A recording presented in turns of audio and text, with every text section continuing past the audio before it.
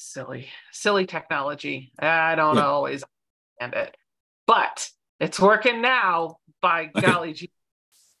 I'm just waiting to make sure it comes up. Uh, it looks like it is. Perfect. Okay.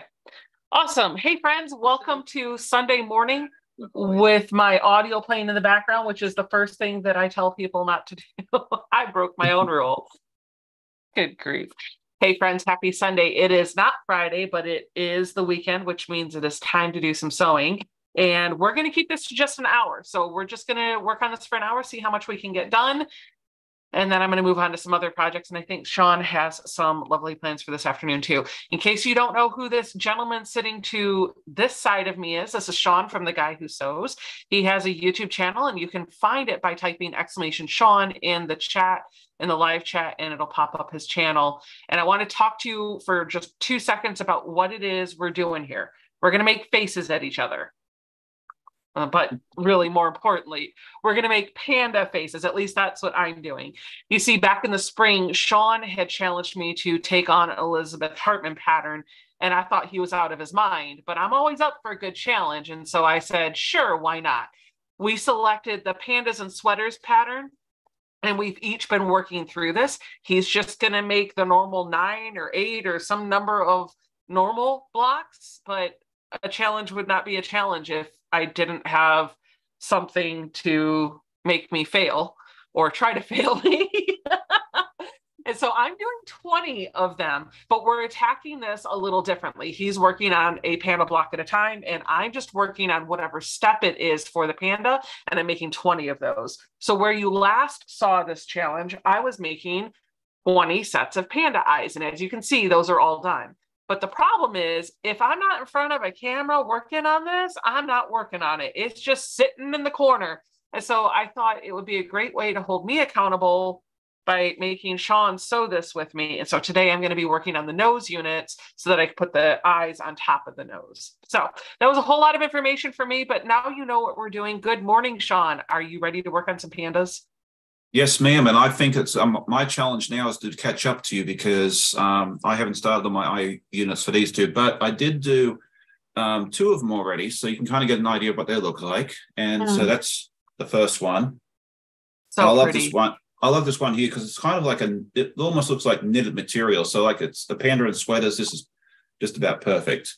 And then this lovely pink one as well. And I'm trying to use everything from Stash as well that seems to be a recurring theme over in my little world. Um, figured why not let it continue on. So um, I will start off with the eye units and try and catch up to those with um, Becca. I'm only doing two this this morning, so I think I've got a better chance of um, catching up. So maybe I'll overtake her. You, I'm making noses. The noses look like they might be easy, but we'll we'll see. they're not they're not super difficult. Um, if, you know, I'm if you've done any stitch and flip, I think you can do it quite successfully. Her patterns always look very intimidating. Like you open up the pattern and you know it'll say page one of 27 or one of 47 or if you get the um, produce one um, that i got earlier this week it's 57 pages long i mean yeah that that's kind of what i said too when i opened the pdf but it's well, very well very well written so i think you know it's not as difficult as it is one step at a time you'll do just fine yeah, you know, I'm actually not not upset with this with with this pattern to be honest with you. So, um yeah, I'm I'm kind of enjoying my time. So I'm just going to get started sewing because I only have an hour before I need to sit down and record some videos and do some other things and I think we're on a time limit for you too. So let's mm-hmm. just get to work. Here's yep. what I have done. And by I, I mean Mary. when I mentioned I was going to do this, Mary, this this quilt is going to go to my friend Mary. She loves pandas, all the things, and it's actually kind of cool. We'll talk about this in a minute about the timing of it. Sean, you mentioned that before, but she cut everything and labeled everything. So all of my pieces are already cut enough for all 20 pandas and they're already putting little snack baggies that I keep in a sterilite container. And so when it's time to work on the panda, I just have to open up the pattern and I flip because it's a book. It's not just like two pieces of paper, which I love. But I just flip to the section that I'm going to work on, which in this case is the nose unit. It's on page 13. And I just follow the diagram from this I pull my sandwich baggies of fabrics out and I just get to work. That way I'm not, I don't have a whole bunch of other things here that I don't need. So it looks like the first thing that I'm going to need to do for my nose unit is grab my fabric B and my fabric P's. And this is that stitch and flip you were talking about. And then we're just going to add kind of like that white border around it. You've already done some of these, right? Because you've made a yes. finished paper. You've already built out the units for each one. Right. Yeah, and they come in quite handy. And um, if you're doing any amount of stitch and flip, I highly, highly recommend this. Um, what's it called? Folded corner clipper. Yeah, I actually have one of those. Hold on. Yeah. Oh. Like I've done, I've done quite well without them. I mean, I've made a bunch of Art East and Elizabeth Hartman without them, but it's so much easier because you kind of just um, line it up, you cut and then you just sew a quarter inch away and it's all done. There's no dog ears, no nothing. You just it's you're doing all the hard work up front. So it makes it nice and easy. All right. Yeah, you're gonna have to walk you're gonna have to walk me through how to use that. So I'll do some stitch and flips and then maybe we can use my close-up camera here to walk through how I would use that. Okay, cool. Yep, that's easy enough. So um, I did want to say to um, all all of my Canadian friends here watching, um, happy Thanksgiving. Tomorrow is Thanksgiving in Canada.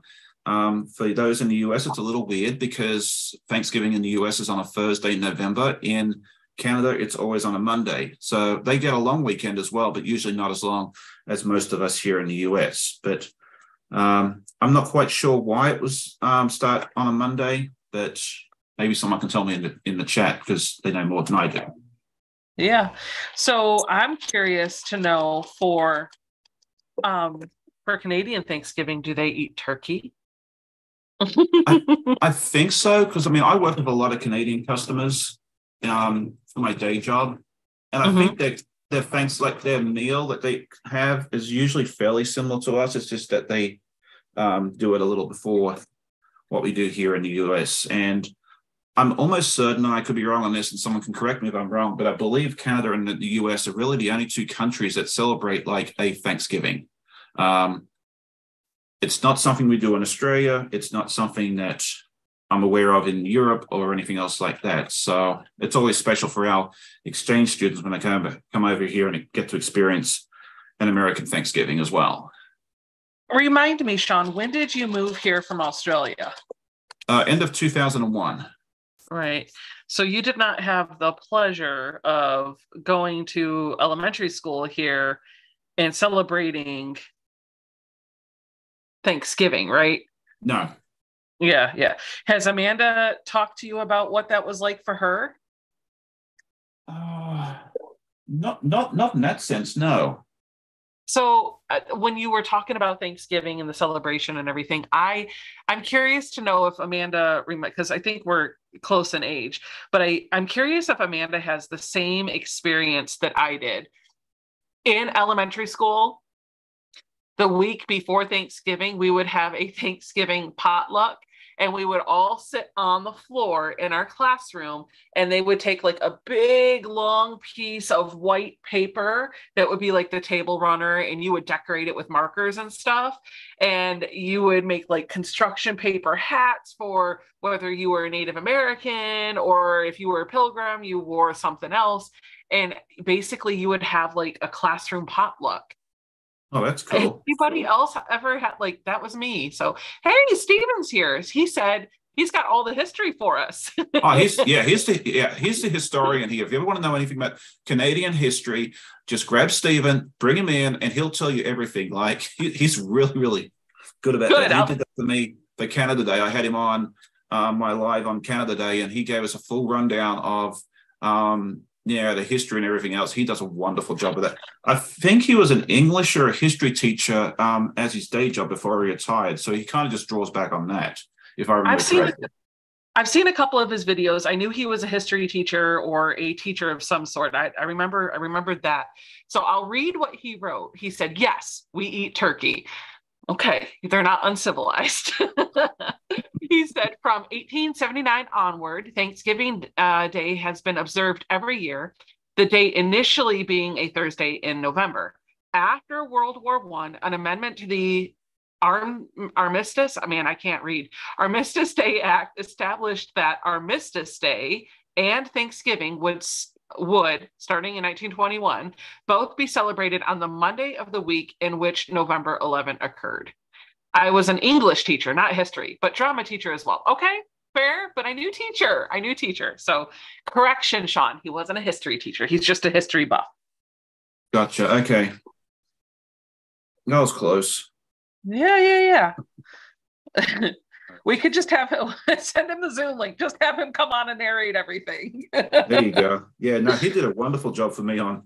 Like I, I knew a little bit about Canada Day, but yeah, by the time we were finished um, with that live, I think everybody that dropped in um, learned a lot more. And if you want to learn more about Canada Day and hang out with us for a little bit, go back and check out that video as well. Will do. You had Amy on your channel yesterday, and I remember I she said um, I drink coffee and know things. Should we yes. tell Stephen that? Uh, let's just start saying for Stephen, he quilts and knows things. There you go. I like that. We can go with that. Amy drinks coffee and knows things. Stephen quilts and knows things. So what mm. do hmm. you do then?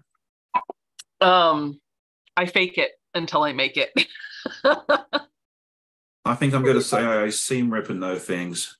oh, oh, I, I see. Keep with that. Okay. Well, that's what I'm I, doing right now because this just didn't match up. So. Got it. Well, I'm I'm sorry that you're spending time with Jack. No, he likes to come out and play once in a while. Him and I had good little conversation yesterday because I had to rip out like a bunch of stuff on a t-shirt quilt. The sashing just was not lining up, and as much as I didn't want to rip out two foot of sashing, I had to. Awesome. Awesome. But it's done now, so that's all that matters. We've got a couple other comments in here about Thanksgiving. Um, Pat Strawhouse, who is also in Canada, yep. said, Thanks, Sean. Our Thanksgiving was declared by our Governor General in 1957. Always the second Monday in October. It corresponds to our harvest festivals and those in the UK. All right. So the Governor General, um, I can tell you a little bit about that. Um, I'm almost certain it's the same way in Canada that is in Australia, but the Governor General is basically the representative to, of the Queen of England, or, you know, I guess we should say King now, but I, you know, we, we had Lizzie for so long. I still think she's kicking around the nursing home somewhere. Um, so, yeah, you, you have your parliament, you have your prime minister, but then, yeah, because Canada's part of the British Commonwealth, um, they still the Queen still needs to have a representative in each of her. Sorry, the King has to have a representative in each of the countries um, that is part of the Commonwealth, and that's what the Governor General does. Um, I believe he has the power, he or she, I don't know if it's a lady or a gentleman in Canada at the moment. I believe they have the power to kick the Prime Minister out of power if they do anything naughty. So is that kind of like an American ambassador, like the ambassadors that we have, where there's diplomats from the US that are sent overseas to represent the American government? I, no, I think it's a little different. It's more like, like I think both countries would have diplomats as well, and um, but yeah, it's more like it's basically because it's a monarchy, um, and we're because we're part of the monarch- monarchy, they have to have a representative for the um, for the monarch, and that's what the governor general does. But I believe they would have a separate, um, like diplomatic division, just like the U.S. does. And I'm sure. Uh, okay, Jan's saying that's right, and yes, King Charles. So um, yeah, apparently what I'm saying is true. I didn't really take much history in high school for some reason. I don't know why. So I kind of just um, yeah make it up as I go along. But usually I'm somewhere in the ballpark. Yeah, that makes sense. I don't remember like a lot of the political stuff and how all all of that tends to work. I'm fuzzy at best with our own system. And then when you start adding in like other countries and the monarchy, I'll be honest with you, I don't know what the difference is in England. I don't I don't understand why they have a queen or a king and parliament. I don't know what the two do that are different. I don't understand it. I'm just ignorant on the subject. I could probably learn, and maybe I should, but I could also make a quilt instead. So I'll do that. There you go. Um, why is this not matching up? Oh, oh, here comes Sean, or here, not Sean, Stephen. You guys both have S names. I'm getting them confused this morning. Stephen has more information. The Governor General has important parliamentary responsibilities, summoning, proroguing, and dissolving Parliament, setting out the government's program by reading the speech from the throne, giving royal assent, which brings parliamentary bills into law. Yeah, Very so it's a little yeah, it's a little different here because you don't have you don't have a king or a queen. Um, it's like an additional you know additional level. Um, you know, like here in the US, you have the three branches of government: the whatever they are, I can't remember now, judicial, legislative, and Executive. Thank you. Okay. Um, yeah, and that's kind of like your balance, you know, checks and balances and all that sort of stuff. See, I did learn something in um, college history. Um, yeah, basically, you don't have the additional stuff because you don't have the monarch. Yeah, because basically the the monarch is the you know overall ruler, basically. So Right. there you go. But yeah, I'm not going to try and um, bore everybody with um, monarchy stuff and history because um, I'm just going to look ignorant in a little bit. So we have reached our capacity for the knowledge that we have. We're done. Let's move on to something that we know a little bit more about. How's that quilt block coming?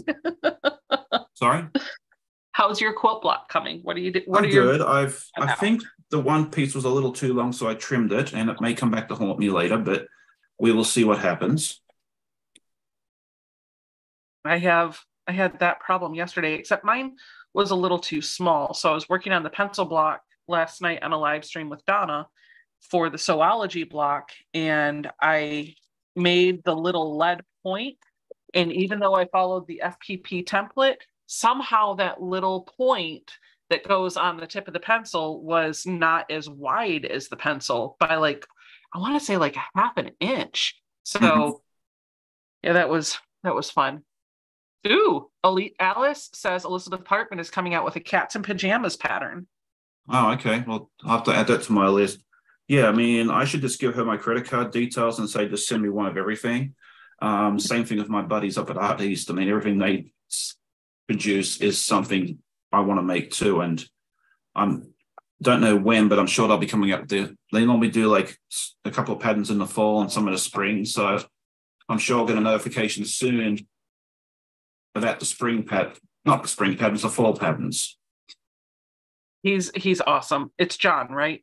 Yeah, John, and then he's um John and Matt. But I think John does most of the designing. I think Matt does more of the um business side of it. That's correct. But yeah, they're both lovely gentlemen. I think very highly of both of them. And yeah, I just love all their patterns. I just need more time in the day so I can make more of them. So for the there's a sew along that they're doing right now, are and you're doing that too, right? Yes. Okay. You want to talk about what that sew along is? Okay, so it's themed on Alice in Wonderland. It's a nine month project, and each month, well, you sign up for the whole thing up front, and then you can either get the PDF downloads that you they're available on a they have like he has like a his own web portal, and you can go on and you know download it there, or you can get the little booklets which he has sent to me. Mhm. And this is block one, which is Alice, and this time around they're using old Tula pink fabrics. I love that. Yeah. So I don't have the Alice block within reach, um, but you can go back and check that out on, I think it was like two episodes ago. You can see that, and I'll have a time lapse for that coming out this week. Um, he he gave me permission to um, actually film it all coming together as well. I reached out to him up front just to make sure there was no copyright issues with that, and he was very gracious and said, "Yeah, sure, go for it. Just don't give away the um, cutting instructions." Mhm. Um, so each month I plan on doing that. So that way you can kind of see how it comes together in like three or four minutes. So That's awesome. That's awesome. That's been kind of my go to a lot of times. If I'm going to work on a pattern on the channel, I just won't give the cutting instructions.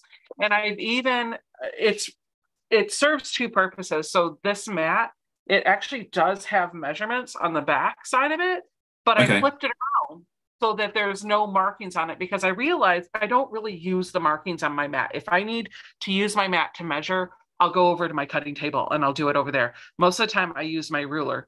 Um, but it makes the it makes it look really cool. I don't know why I'm talking about the markings on my mat. I think I was going to say something along the lines of if I'm not using the mat to square things up, it does make it a little bit harder for you to guess what size the pieces are, but I don't think that matters. I just don't blatantly say what the sizes are. Yeah. I won't give cutting instructions because honestly, that's half of the reason why you buy a pattern. I know how to make half square triangle unit. I know how to sew things together, but why I buy the patterns for the fabric requirements and the cutting instructions. Right. And then, yeah, a lot of people making patterns do it as you know as part of all their livelihood. So exactly, you know, it's yeah. If I, I if I want to if I want to make it, I'll you know I'll I'll pay for it and do it happily. Yep. Absolutely. Okay, so you walk into a quilt shop and you've got some money to spend. What do you go to? Do you go to the fabric? do you go to the notions or do you go to the patterns first what what are you going to more likely walk out of a quilt shop with fabric notions or patterns fabric for sure um i'm not a big i'm not a big notions guy um i'm very selective on what i buy i, I don't get a lot i don't really feel like i need a lot of notions mm-hmm. um and then patterns i both buy most of those online because i'm drawn to those patterns mostly that like the art east and elizabeth hartman. If they were the only two quilting websites left on earth um, one day i'd be happy as a clam because it's where i do most of my my work. So yeah i don't know that i've bought i've bought a couple of patterns at quilt shops but usually yeah, i'm going to come out with fabric. Lots of people are saying fabric. Candace said fabric then patterns. I'll tell you like I I want to say fabric, but I also love a good pattern and I realize that I end up just collecting the patterns because a lot of times I can always buy the fabric later, right? There's a project I want to do, I'll buy a pattern and I'll hold on to it. But then I forget I have the pattern and it becomes a whole thing. But I also really love gadgets. So I like to see what's on the notions wall. Um my I don't want to buy the same notion over and over again, obviously, but I like to see what what the industry is coming up with. What new sewing or quilting aids are out there that could make the process easier. So uh, Joy is asking, what is the size of your ironing board? I would like to make one, please. Um, I think it's like nine inches by 13. It's like the size of a casserole dish. If I actually want to make one a little bit bigger than that, I think 12 by 18 would be a good size. All right. Bill says he likes Kona solid, so he's definitely in my in my campground with me. So that's that's awesome. Yes, he. Yeah. Does thread mm-hmm. count as a notion? Yeah, sure. Why not?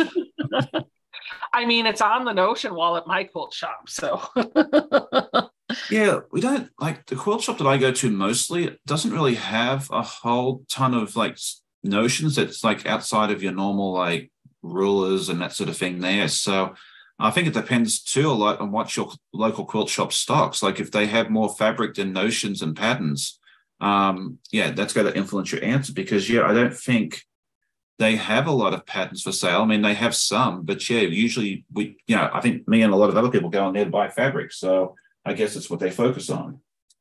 Mm-hmm. Dragonflies for Donna says Fat Quarter Shop has a the bunny bunch pattern and cats and PJs is set to notify me when it's in stock. So you can get on the wait list for the next Elizabeth Hartman pattern. Oh, okay. I usually just buy her PDFs. You know, that's smart. I've been relying a lot more on my iPad for all sorts of things, taking notes, um, mocking, like all sorts of things. And I want to get to the point where I'm using my iPad to read and flip through patterns. I do like stationery, so that's a bit of a transition for me because I like the way paper and pen feel. But the PDF never goes away. Right. You don't have to worry about killing any trees. It's always there, and you can make notes on it just just as easily as you could on the paper copy but you're not ruining the paper when you do that. Like if I make a note on this with ink, the note's there forever. I don't, that doesn't necessarily have to be true on the PDF. Yeah, and I always seem to misplace my paper patterns. So I go to sew something and then all of a sudden it's disappeared and then I have to spend 10 minutes looking for it. So like I'm I'm a bigger fan of PDFs too. Plus, with how my sewing room's set up, I have a computer right here in front of me because I also work here from home.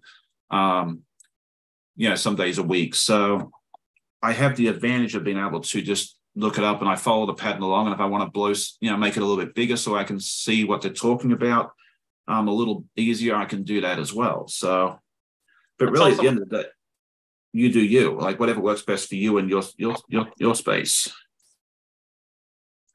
Oh, there it is. I thought I was like, oh no, I'm missing one of my little squares of P, and it was still in the baggie. Oh, okay, that's fun. I'm working on my P um, little P sections as well, but for the eyes. Amy says, "Gifty things. Give me a blank notebook." Ooh. I, you know, my husband jokes with me. Jason tells me I like to collect blank journals because I'll buy a journal and I'll put it on the shelf and I'm so excited to use it, but I never do. So I literally have a shelf of blank journals and notebooks that I it's like fabric to me. I collect them and I never use it. That's a problem.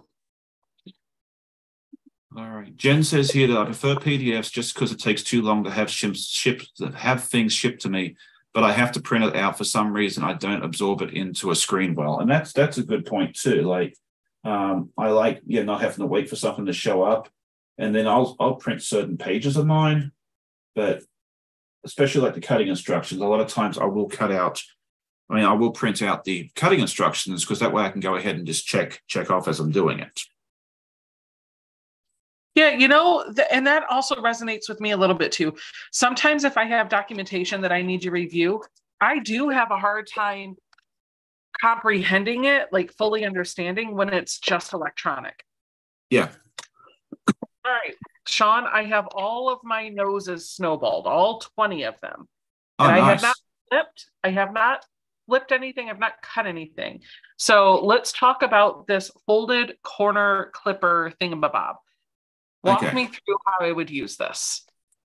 All right, just give me one second and I will show you an example. Uh-huh. And while you do that, I will have some more of my coffee. All right. Yeah, my, I finished mine off while we're still playing with our tech issues. So, all right. Okay. So let me just press this and I can show you a real-time example. Okay, so I've got my little eye section right here. Mm-hmm. And then I'm going to get um, the next piece. In a moment. I didn't realize I was going to be teaching today. And it's going to go, and I've got to show it the right way too. So you put your piece of fabric here because you got to sew on a diagonal from this corner down to this corner. Right. And so you can eyeball it. And that's what I've done for years. Okay. But I was I was looking at this ruler. Um, Kendall Taylor was showing it on his channel a few weeks ago, and I was like, "This this thing looks really neat." So what you do is you lay your ruler. It's gonna be really not gonna be super easy for me to do right here, but basically you want the diagonal, this printed black line, the diagonal, to go from the top corner down to the bottom corner. And then you'll have your quarter inch seam allowance already. And then you just basically cut here and then it'll be you sew and you got your quarter inch and it's all done. Oh, so it's opposite of what I should have done. I've sewn everything. I should have trimmed first. You can do it either way, but the idea of this is you trim first, then you sew, and then you're done. You just press and move on. But how is this template better than just a one and a half by six and a half inch ruler with a quarter inch line on it? Because if I take that quarter inch mark and line it up on the stitch, I just did the same thing. I think it's probably the same sort of thing, but it's it's in a triangle. Um, I don't know. I, I, I like the ruler, so maybe this is meant for like. Oh, it comes know. with a little booklet too. Here we go. Let's let's look at the little booklet it comes with. Yeah, because I don't uh, have that anymore. oh, okay. Well, I'll send you a picture of it. I mean, it's not. You can go online and look at this. See, so I'm not giving away any trade secrets, but this is this is basically um, it's, and it's also you can do it for binding as well. Mm, mm. And I Yeah, haven't send me a tried that. picture it. Let me see if I can figure it out. Yeah. Um, but if you go onto their website or you know scan this QR code, um, you can see all the difference. Thing. As I said, it's it's everyone's different. Um, what you're what you're suggesting will probably work just as well. Um, but I like the fact that it's a little triangle and yeah, it's it's made my life a lot easier. So Got it. I sewed and then cut. But it sounds like perhaps you cut then sew with that. Well, I used to cut, I mean, sew and then cut too before I got this, and then now just changed it. I just like the fact that once I sew it, I'm done and I can move on to the next piece. All right. Jeannie says, yes, Becca, you cut before you sew. Yeah, so it's just, it's an option. Hey, nothing wrong with that. There's always more than one way to skin a cat, right? Oh, for sure. Yeah, I mean, I always just eyeball it and I was usually fairly close. But I do it so much. But this is, yeah, I found this is more precise, which is nice. All right. Dragonfly Sedona says, I use that rule for many things and in both ways you described. Okay, awesome. All right. Uh, Laura says, doesn't it allow you to line up the two sides of the triangle on a particular line or measurement? That's what I was thinking. That's what I was thinking with it because it's got those markings on it. But I think the pieces that I'm working with are just a little too small, but maybe, maybe there's another way. Oh, oh, oh, Sean. Okay, Uh-huh. hold hold on. Let me give you the good overhead view. I I I think I found something. Hold on. Okay. Spotlight for everyone. Let me zoom you in. And we're gonna change the camera angle to this. So Okay. Okay, so I've got right here one of my units. So rather than just like putting the black line on the sewing, the stitching or going from corner to corner, I'm actually going to slide it down so that the measurements is on the square. So I know these are one and a half inch squares. So I'm gonna put that, or one inch square, sorry. So I'm gonna put that one inch square right on here. And so I'm looking for this line to be on the side, this line to be on the bottom, and this diagonal line to be on my stitching. And then you trim.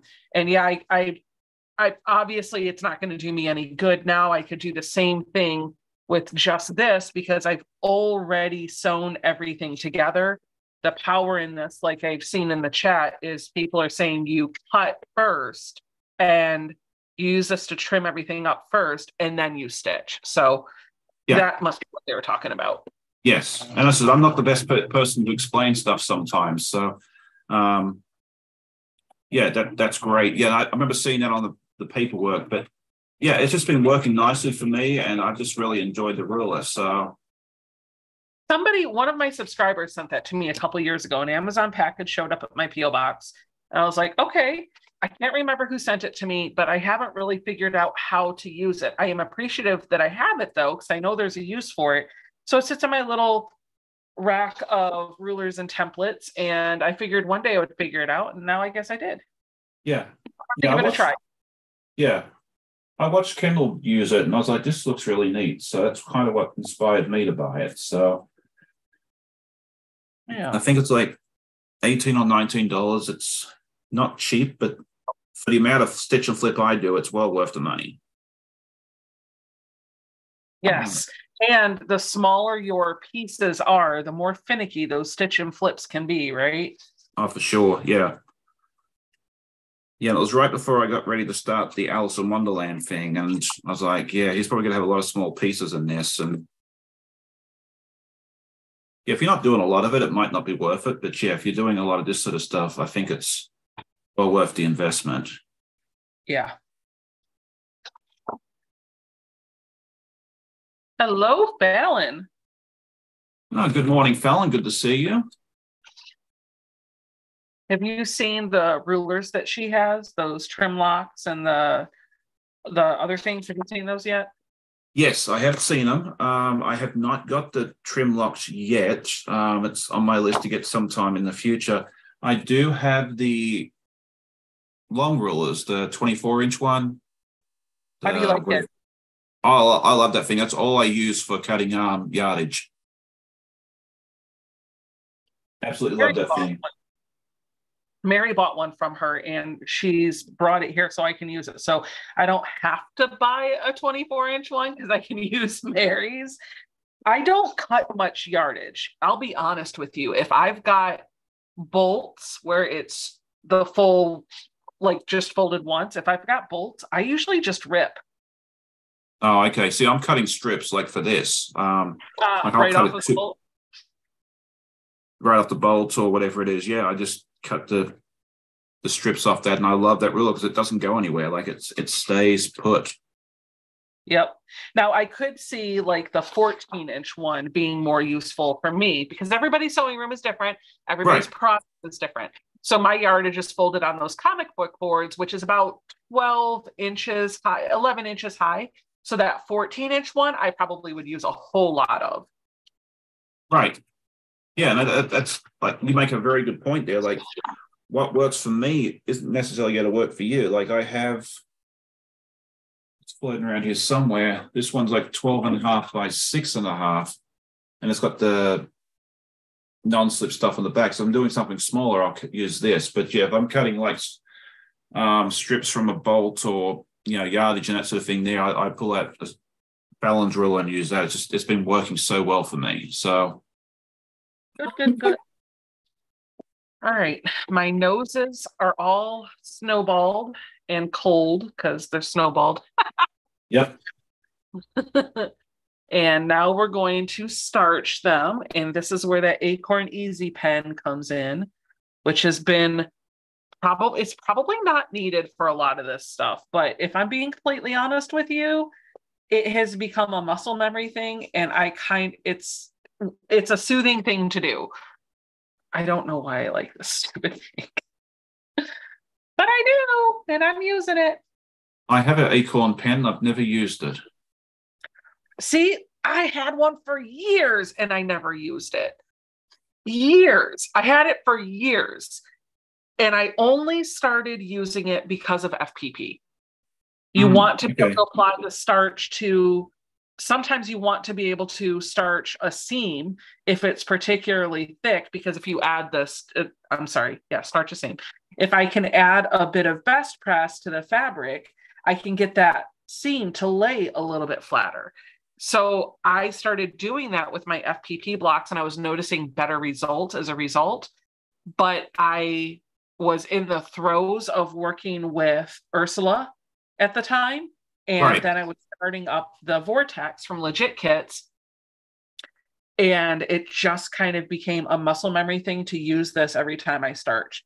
But then I've heard other people talking about how this is a good idea when you can't starch the fabric. So if you're like doing the puzzle mystery quilts where you can't starch the fabric, you can put this on just the seam in your block and it adds enough enough body to the seam that it makes the fabric not so flimsy.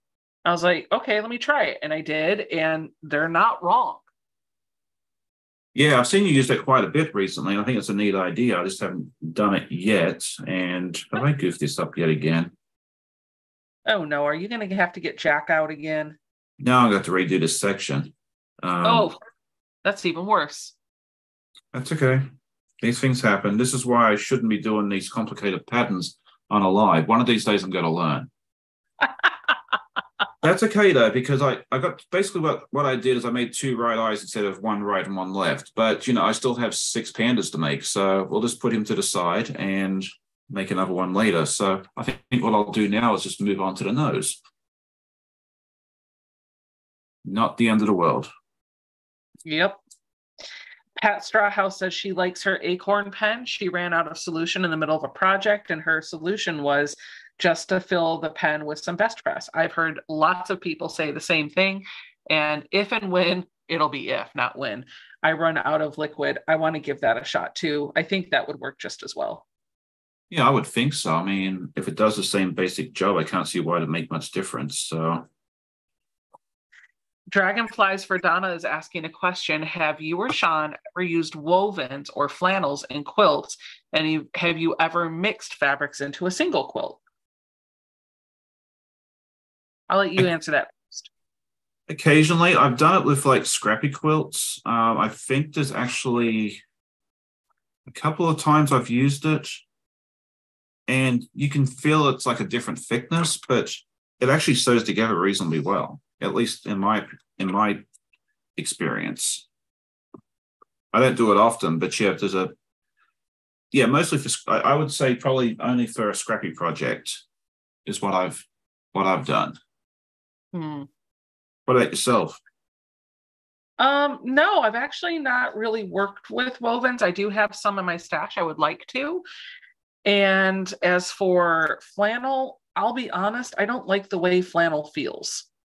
Okay. So I I tend to stay away from that.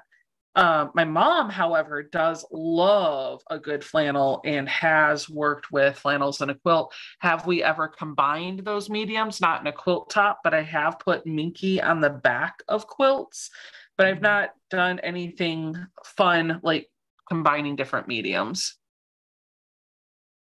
Yeah, I think the time I've done most like combining of mediums um, would be t-shirt quilts because I've done some where you know I've done both um, like regular cotton t-shirts and then technical tees, sometimes polo shirts.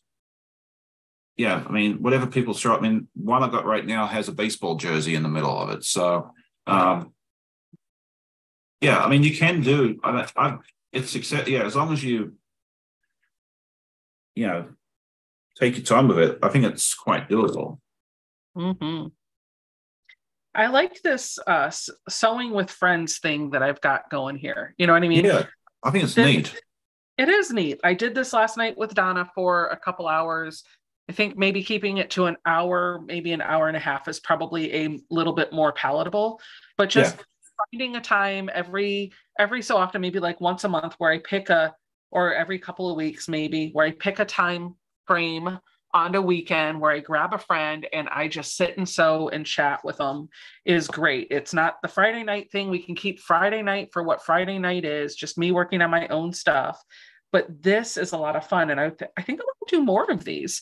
And I'm eyeballing Amy in the chat. And I know she's done some big stitch quilting. She was talking about that, right? Yeah. Um, that was her, right? I'm not wrong. I've think, I think so, was, but I think it was on your channel that she was talking about that. Might be. I, I can't keep up with the chat on mine, let alone yours. So. well, we'll have to see because if it if it was her, whoever it was, we'll have to see if we can coordinate a, a sewing with friends live stream where maybe we just work on some big stitch quilting because I think that would be a lot of fun. Sure. Yeah. I, I love sewing with friends. I mean, that's kind of what I do on a Saturday morning. You know, I, I find yep. a I find a content creator or a friend and say, hey, come on, hang out with me for a while. And it's it's very much like you know, I get the same sort of vibes as you know, I am right here. I, I like it. So yeah, I think you'll have a lot of fun with it. And you'll I don't think you're gonna have a hard time finding a um very long list of people willing to come on and hang out with you. well, I'm sure you will be at the top of that list because you're going to have to hold me accountable to getting these pandas done, Sean. yes. and I, will probably need the same motivation. So it's probably going to work out well for both of us. Absolutely. So, speaking of like the sewing with friends or hanging out with friends thing, I'm just curious. Like, I know, man, some of these are crooked and we're not going to worry about it. That just means our nose is going to be imperfect, but no panda nose should be geometrically perfect, just like you... no nose is the same. Um, let me see. So I was going to ask you a question. Your lovely wife Amanda is a YouTuber herself, Correct. and she lovely knitter. Knitter. I meant knitter. She knits. She does beautiful things with yarn. And I mm-hmm. know she uploads, and we'll put her channel in the show notes down below if anybody wants to check it out. And if there's a moderator, um, what maybe Sean, you could you could drop that link in there if you're available. Yeah, I, I can do it real quick. Hang on. Dog, Dog. Mom Knit, name of her yep. channel. For those of you that are curious, Sean's going to drop her link. But the question that I have for you, Sean, is when are you going to have Amanda on as a guest on your channel during a Breckie with Sean? She's not super keen on the idea. Um, Saturday morning is her time to sleep in. Um, oh, okay. Yeah, and it, it's it's it's funny because like here in the quilting YouTube community, we love lives. The viewers love lives. The content creators love lives. The knitting community is totally different. They have very very few lives, and it's more that they they they focus more on an individual podcast. Because like your podcast, when you do yours, like your weekly vlog, what is it like 15, 20 minutes usually? Mm-hmm. And mine's, you know, 10 to 11. If it's over 11, it's a very long one. Um, but yeah, over there, it's, you know, 40, 45 minutes, an hour, hour and a half. You know, they just do longer that. So I think their community is more geared to that. Plus, you know, I've talked to um, a few people about this over there, and it's harder to show like progress, I guess, on a knitting live than it would on a sewing live as well. Like we can get quite a bit done if we're like you can make a whole puzzle quilt clue in an hour and so forth. Yeah. But yeah, yeah, if you're sitting there knitting, and it's hard to um as a viewer as well, and that's the other thing that's been brought up, is as it like here, yeah, you can sew for a little bit, stop, type, you know, chat and that sort of thing. Never if you're knitting, if you're in a middle of a row, you can't really stop the chat. So it'd be a little more difficult for a viewer unless they're just sitting there watching you and not actually sewing along with you or knitting along with you for them to participate in that. So I think that's a lot of reasons why they don't tend to do it as often as we do. Yeah. But what if there was just like a stitching circle, right? Like, think about it this way. Yes, she would be working on a project, but she doesn't necessarily have to be teaching anybody anything. I'm not doing anything here with my Panda Block. I'm not teaching anybody anything. I'm right. just keeping fingers busy while we're having a normal conversation and we're talking about the things that we like. What if, what if that was the thing? What if you were just trimming fabric or starching fabric and she was knitting and you were just talking about fun things. I don't yeah. know. Think well, about that. yeah, we'll, we'll we'll talk about that and see what happens. But yeah, if you haven't, um, did I put? The, I did put the channel link in. Yeah, if you are interested in knitting, go check it out. Um, she has she's a lot of fun. The viewers that go over and um, watch her channel love it. Um, they tune in religiously. I mean, she tries to post every other week because that's something else that's fairly common over there. Is to um, do it every other week because again, it takes a lot longer to knit, you know, two inches of a sock than it does for me to sew an entire quilt top. So you have mm-hmm. that there. But yeah, she's she's a very very talented knitter. Um, you've probably seen on my channel and hers if you've watched it. Um, she's won first place in the socks two years running at the Virginia mm-hmm. State Fair. She won best in section last year, so basically best in show for knitting. I mean, I'm just super super proud of her for that. And um, yeah, she's just done really, really well. So yeah, definitely go check it out. She'd love to have more viewers and more subscribers. Um, so if you're interested in knitting, yeah, definitely go check that out. So there you go.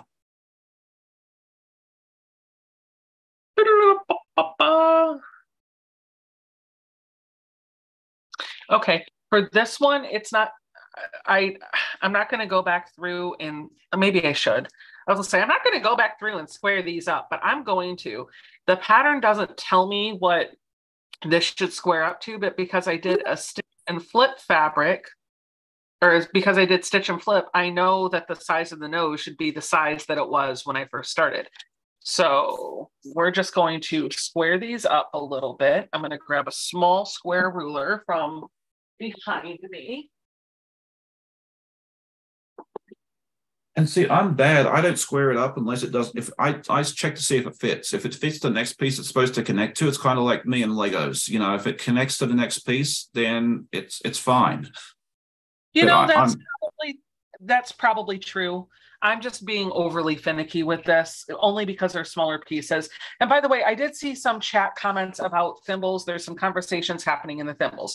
Janet's asking me if I would like some from Australia. I actually do not have one from Australia, so I would love one. You can email me and we can work out um, we can work out how we can get that over here to me.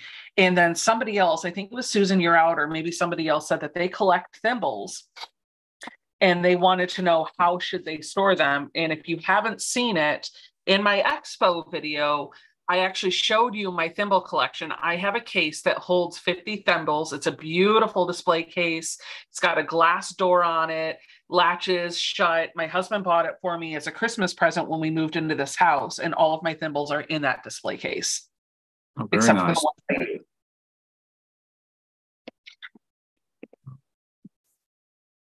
Making some decent. I was Sorry? I was just oh, I was just going to ask about your progress. You you're in my head. uh, well, making decent progress on the nose because I gave up on the eyes because I have to go make t- two left eyes now. okay, good. we I wanted got... to show that I did something right, so. we have got about five or ten more minutes before you're you're wrapping up. So you got a few yep. more minutes before you have to show us what you were able to finish. That's all right. I mean, anything's better than nothing, right? Absolutely. Some progress is better than none. And then while we're waiting for you to figure out, or while you're while we're waiting for you to catch up, hold on. I think what you and I are doing today is going to be very, very similar. Yeah.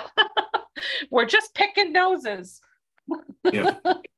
There you go. Now that's there's the name for the video. I'll change it later. Picking noses with Sean. yeah, you watched that thing go viral. I'm sure I'll get some comments on there. I didn't see any nose picking. Where are the buggers? Clickbait. Hope you enjoy. You're right. Here, hold on. Wait till the end. There's a great big booger right at the end. Just wait. Watch all the way through. oh, so right. I know. I hear that a lot. It's okay. I've learned. I've learned to be okay with myself and my not rightness. well, like I told them at work the other day, I said you don't have to be crazy. He will train you. So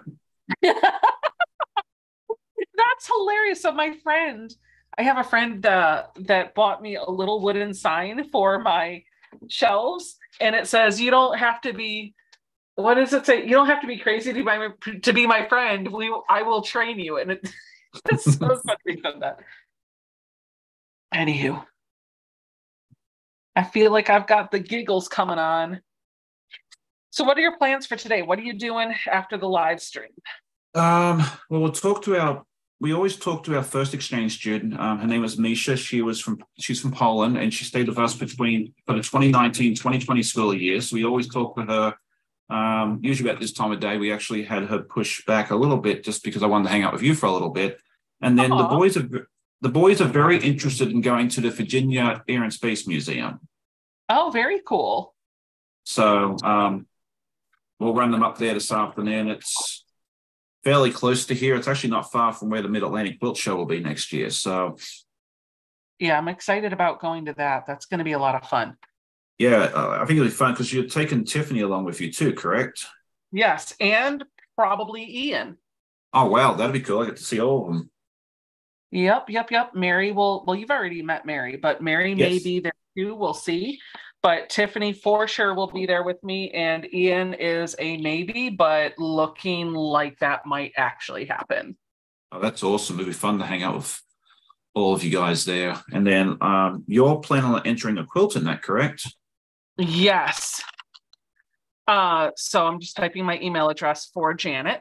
So my I belong to two guilds in Northern Virginia and I know at least one of them usually tries to participate, or at least last year, because I've not been in guilds for very long.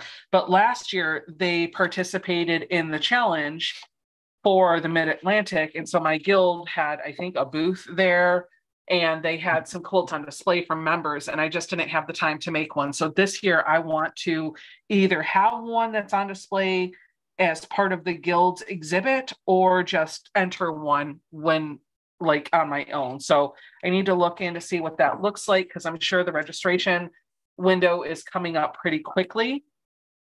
And then I have to make sure that whatever quilt I submit is not a quilt that is accepted for QuiltCon. So I have a couple of quilts in mind that I would like to submit for consideration to QuiltCon. I don't know if they'll get accepted. I would be completely floored if they did.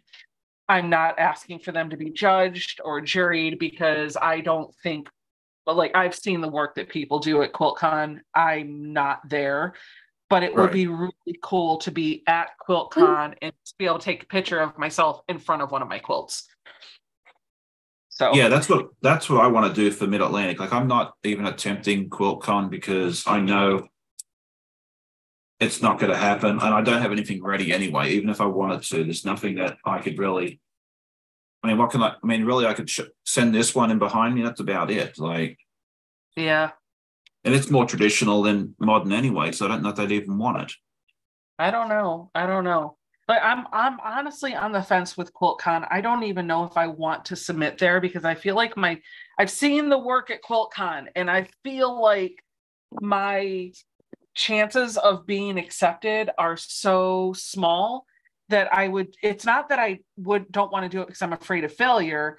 It's that I would rather take the opportunity to display it at Mid Atlantic, which is literally the next weekend. And I feel like if the quilt went to QuiltCon, it would not be back in time to be able to send it to Mid Atlantic. So I I only have a few quilts that I feel like are ready to are are prepped to be able to go into a show display rotation, which I'm really excited about. I actually have a couple that I can rotate with shows now, but I have to be picky, right? Like I can't yeah. send them all to all the shows at the same time. So I think in my mind, I'm leaning more towards displaying at Mid Atlantic than QuiltCon.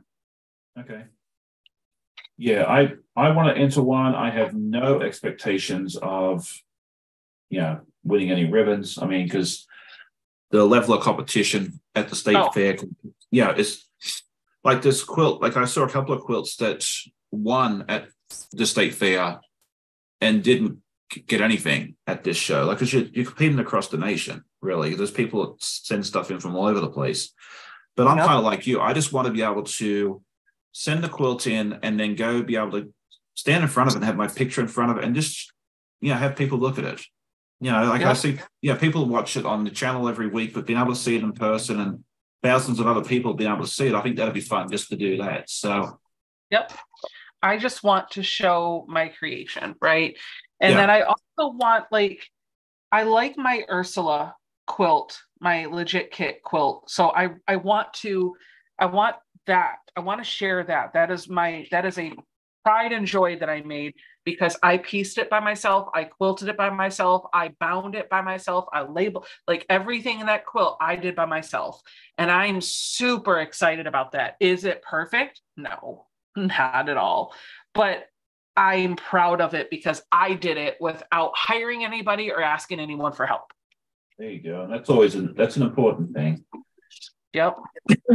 all right. So let's see. And what do you got? All right. So here it is. I've been sewing for an hour. I have made two eyeballs. two left, two left eyes, I guess, or two right eyes, who knows, and then two noses. Okay. That's as far as I got. So that's hey, okay. That's a, that's a, lot of progress for an hour. So where yeah. have I got an hour? I have all 20 of my noses sewn and 15 of them are squared up. The next step is going to be really easy because it's just taking these white pieces and putting them around the little nose, which now you can see it a little bit better. So, um, yeah, you'll um, turn it into this basically. Yes, exactly. That's what I'm going to do. So I'm going to take all of these, turn it into that, and then I'm going to take it one step further because the next step is to take the eyeballs and sew it on top. So yes. what my goal is for today is to continue this progress until I have built out basically the face unit. Yeah. And then you'll really feel like you have some progress then, which will be nice. I know, I know. So we need to do this again. I'm out okay. next week, and I know things are kind of busy throughout the next uh, few weeks and going into the holidays, but let's work offline and find another day where we can just set aside an hour to do okay. some progress. And it might be that I have made zero progress between now and that other session. Mm-hmm. But I'm interested in doing another one. And you can host on your channel if you'd like, or I can host you over here. Either way is fine. I just would like another hour to sew with my pandas and Sean. Okay, sounds good. We'll talk about that. So um, let's see. Just trying to see if there's anything in the chat. I'm trying not to take over. no, I'm you're not... totally fine, dude. Keep it going. Like I'd rather you jump in and answer questions and talk than just to sit and awkwardly look at the camera. You've got this. Go. yeah, well, that's the thing. Like I, I was just thinking about this this morning. Like I can't remember the last time I was on someone else's channel. Usually I have all the guests over on mine. So yep, yep, yep. No, it's it's it's a uh, it's a different atmosphere. When you, when you get to that point where you're comfortable, if you can tell when it happens, when you get to the point where you're comfortable in front of a camera and you've gotten some experience under your belt with doing live streams specifically, which is a whole different beast. Oh, for sure. Doing a recorded video because with a recorded video, you don't have to be as polished you can do multiple takes you can re-record it and then you get to edit it down and make it look nice and polished and get your point across but with a live stream what you see is what you get yeah i mean i remember my first live it was absolutely horrendous it was two minutes long um, the dog started barking and carrying on. I turned it. I said, "Sorry, guys, I'm, I'm out. I'll see you all later. You know, come prepared. You know, I've and I've told everybody that. Like, it's it's it was horrible. I deleted it. It's no longer in existence but yeah, you get comfortable after a while. Like I think with the podcast, I think I was probably like 35 or 40 episodes in before I felt comfortable. And the lives probably took, I don't know, six months. I mean, I have to go back and look and see where, because you can tell if you go back and watch your old videos, you can see and cringe um, just how bad you were at the beginning and just how you evolve over time. So, oh gosh, same. I've I've have because I started in 2018, 2019 timeline. So I've got a lot of videos out there because I've been uploading content every week for four or five years, right? And uh, I've had I've gone back through and I'm like, okay, we're I've marked all of my older videos, like from my old home and stuff. I've marked them as private for the most part. There are a few that are still out there, just because I feel like now that I've got that experience under my belt and I've got a little bit more comfort in front of the camera. My videos are a little bit more polished than where they were in the beginning, and I would rather you watch this content than to watch that stuff. But I do, I do know that there's some stuff out there that I made videos for. They they weren't performing. People weren't watching them. Like I would like to remake them. So that's the other thing that I'm looking at over the next few months is just trying to think through okay the content that i had that was older that i liked the topic of now that i'm more comfortable in front of the camera and i have a different setup what if we recycled that? What if we made new versions of it and see what happens? Yeah, i think that'd be fun. Um, yeah. someone said here uh, amanda groff said something here that she says if you're staying at quiltcon until the final day you can take your quilt home with you. So that's an option for you it absolutely is because I I think Ian Ian and Tiffany are both driving down to QuiltCon. Well, no, Ian's driving up. He's flying into QuiltCon, but Ian and Tiffany will be with me. Yeah. And we're planning to leave on Monday. And Ian's really big on wanting to volunteer and help with the whole QuiltCon thing. And so I promised him I would volunteer my time for QuiltCon as well. And I think one of the things that he wants to do is the teardown. He really likes like putting the mm. gloves on, being able to get up and close and personal to those quilts. Okay, that sounds fun. So I'll just tell them like, go grab my quilt and snag it and run. Yeah, that's really neat. Yeah, because I mean, like with my state fair stuff, I you know we you go up three or four days later after the fair's done. So like I went up Wednesday and picked mine up, and the fair ended Sunday. So let me ask you a question, Sean, before I let you go, because I know yeah. we're five minutes past. So for the state fair, for the Virginia State Fair, when do you have like when do you register your quilt when does that happen usually uh july august august something like that i think you have to have it in like by like the third week of august yes um entry and then you deliver it they're open for like four days like usually the week of like the, the week before labor day i usually go up like the week like saturday of labor day weekend and we drop the quilts off and then we go take the kid um, to do something in Richmond.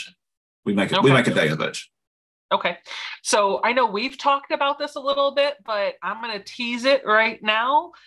I I think I'm just going to tell people we're already do like we've already talked about this. I love the idea of you and I competing and I use that word really loosely because it's not really a cutthroat competition, but I love the idea of us each making our own quilt our own version of that quilt in the same category and entering it at the Virginia State Fair. I think that would be awesome.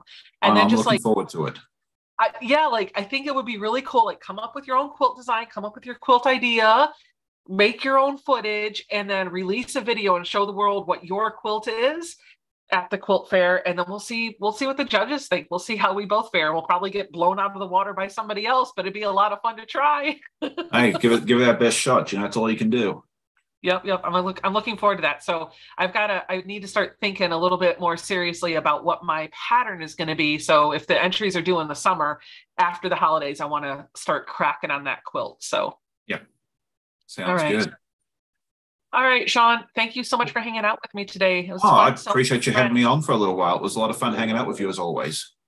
Absolutely. Don't forget, guys, in the chat, you can do exclamation Sean to get a link over to his channel. I'll also, I've also tagged him in the title of the video, and his channel link will be in the show notes down below in case you're watching this on the replay. Sean and I will be sewing some pandas together again in the future, date TBD. So you want to make sure that you're subscribed to both of our channels for when that gets scheduled. Any last words before we let the audience go, Sean? I don't think so. Just yeah, um, just have a good day, happy sewing, and um, yeah, check out all Becca's videos, come see what I'm up to if you haven't already. And we'll, yeah, definitely all see you soon on our respective channels. Yeah. Happy Sunday, friends. I'll see you later. All right. Thank you.